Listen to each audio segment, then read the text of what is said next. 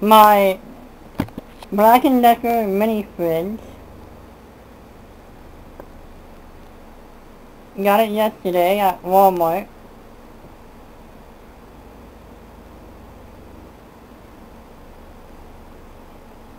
Um, adjustable shelves.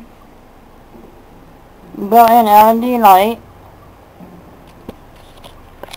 Two fans. I've been seeing a lot of people have this product on YouTube. They gave it pretty good ratings. Mine been just starting to getting cool. It started to keep the Gatorade cool. All refrigerators take a while for them uh, to cool and to boot up. Wait a minute, that's the computer. The refrigerator doesn't boot up. Well, anyways, it just takes a while for the, the motor to kick in and get going. Here's a little nozzle hole. Oh, that's really kind of wet right now.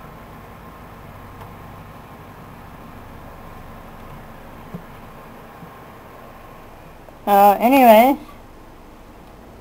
this is my mini fridge.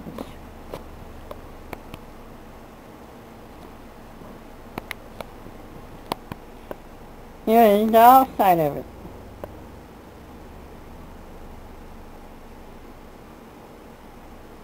So I give it at least so far at least uh, 10 stars right now. I don't have any food for it yet. My old refrigerator broke down because it was old.